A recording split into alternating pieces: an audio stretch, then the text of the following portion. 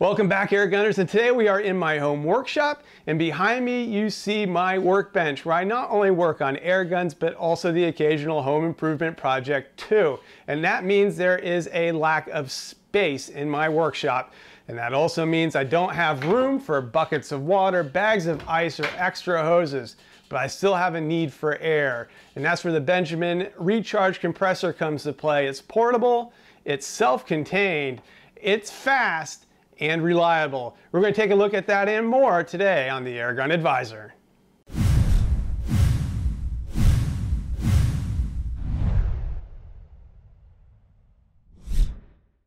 Welcome back to the show and today we're going to be taking a close look at the Benjamin Recharge compressor. It is a new compressor that just hit the market in June of 2019 and Benjamin has been kind enough to allow me to run it through its paces to see how it works, operates, and to allow you, the viewer, to help make your mind if you're looking at a compressor to buy. Some of the things I really liked about the compressor and really drew me to asking uh, for a chance to try it was the fact that it is a compact, self-contained unit that is, if necessary, portable because it comes in at under 40 or about 48 pounds and it has a nice carry handle on it so you can carry it from location to location. And I really see this fitting a niche where if you are having a small club and you want to just fill air guns, you can do that. Or if you are uh, running your own uh, kind of in-house shop and you want to fill up tanks for yourself and allow to refill those from 3,000 to 4,500 PSI, this will fit that niche also. Uh, and that's becoming more and more important as air guns are going towards the larger 25, 30 caliber size air rifles and using much more air than what we've used in the past.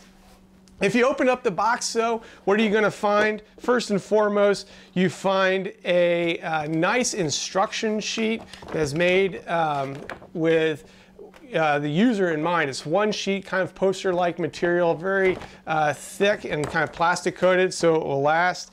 You have your hoses that you're going to use to connect, the, uh, connect to the compressor and then connect to the tank, as well as a couple of adapters. You have water uh, filtration and oil filtration filters that go not only inside the compressor, so there's one in here, as well as one that is attached uh, to the hose in this large silver um, container here. And you have, of course, your plug and extra pieces and parts should you need to do any repair. So it comes with these gaskets as well as O-rings and springs and different fittings.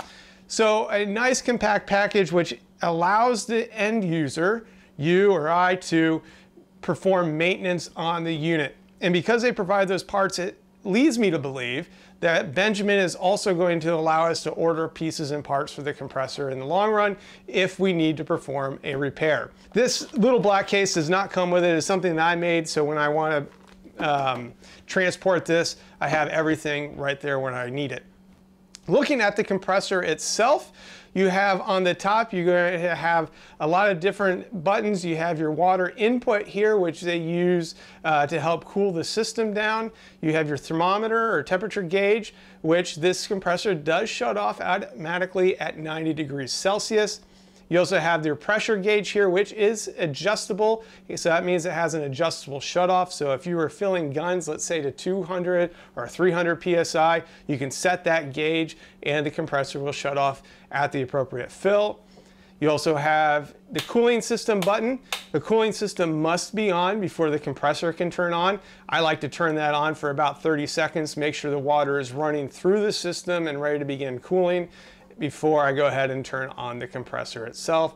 You have the breaker switch and then the plug up top. So everything uh, you need to run and operate the compressor is on top. On the front of the compressor, you have a couple of different things here. First and foremost, this is a compressor that has a motor that requires oil. So I went ahead and used uh, Valvoline oil, synthetic Valvoline oil. They suggest using 5W40 or a compressor oil of some sort. A lot of people uh, swear by Royal Purple. Both this and Royal Purple are available at your local auto parts store, so you have a couple of options again. The fill for the oil is right up here, so it is easily accessible. You also have the drain plug down here, as well as a nice little window that you can kind of take a look at and see if the oil is full, as well as kind of monitor a little bit how dirty it is. Um, but you should definitely follow the instructions and, and uh, replace the oil as suggested by the manufacturer. You also have, this is where the hose is hooked up to fill your tanks. A, again, a safety relief valve here. And then this is the water release valve or pressure release valve. You open it up and condensation, the water is condensated, will be released as well as the pressure within the system. Um, something to keep in mind with this is that the water that is released in this condensation system is released on the bottom.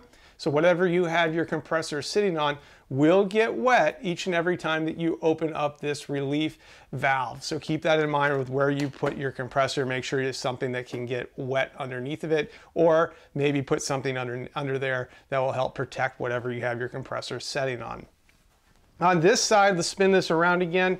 One more time. As you mentioned earlier, your water input is here. So that means your water tank is on the inside and this window allows you to help monitor the water uh, contents inside the cooling system and make sure that it is full each and every time before you use the system. So as you can see it is nice compact handle um, easy very friendly to use but what is going on in the inside and to do that we're going to need to take off the cover. So bear with me while I get my screwdriver and remove the screws.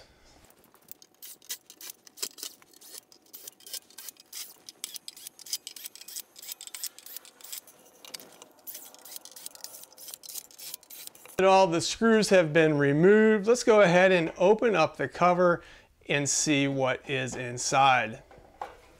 So as I take the cover off, you're going to notice a couple of things. The very first thing that stands out is the water reservoir here that is the heart of the cooling system. This is going to be filled with distilled water and it runs through the head of the compressor to keep it cool. And from the head of the compressor, it runs into two radiators that are both fan cooled. So you have a fan cooled radiator on top and one that is fan cooled on the bottom. And that really does help to keep the temperature down. On all the fills that I did, I never came close to approaching the 90 degree automatic shutoff that this system has. Also, you're going to notice this long silver cylinder here. The air from the head of the compressor goes into the cylinder where oftentimes condensation occurs and the condensation then collects at the bottom of the cylinder. In the middle, there is a felt or a cotton uh, filter that I showed you earlier, and then it, the air then exits the system and into your bottle. So when you release the valve, the water that's condensing in the bottom of this is shot out the bottom. There is a way to, uh, to go ahead and change the filters in this, and that is part of the normal maintenance routine, and we'll cover that in a separate video. On the other side of this compressor though, you're going to notice the electronic system. Let me spin this around. And you can see all the electronic components here.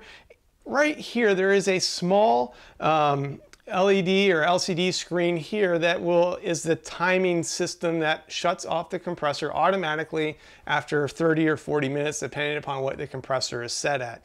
I also went ahead and speaking of the cooling system, I went ahead and ran the compressor a couple of times without the cover on. I wouldn't necessarily suggest it, but I did. And just wanted to touch the head of the compressor here and to see how hot it was getting. It did get hot, I will tell you that, but it was not hot enough to actually burn my skin any of the times that I touched it throughout the or throughout the fill stages of those various cylinders. So that means to me that the compressor and the cooling system are working very well together and doing the job necessary. So what about fill times? The fill times for this compressor for me, were very impressive. I'm used to using a shoebox compressor where I have to sit down and let the compressor refill my tanks for several hours and then I can go again on my way. If I'm looking at, and I did test all the variety of sizes that are generally available to air gunners and filling from 300 PSI up to 4,500 PSI. And my fill times, they might vary a little bit depending upon uh, the exact if it's exactly 3000 PSI or not, but my fill times approximately were for 90 cubic inch tank, five minutes, a 45 cubic foot tank, which is a 30 minute tank, 15 minutes, 73 cubic foot tank, and, which is again a uh, 45 minute tank, is 22 minutes. And then again, the really big 97, 60 minute tank, cubic foot tank is 35 minutes. So uh, very impressive.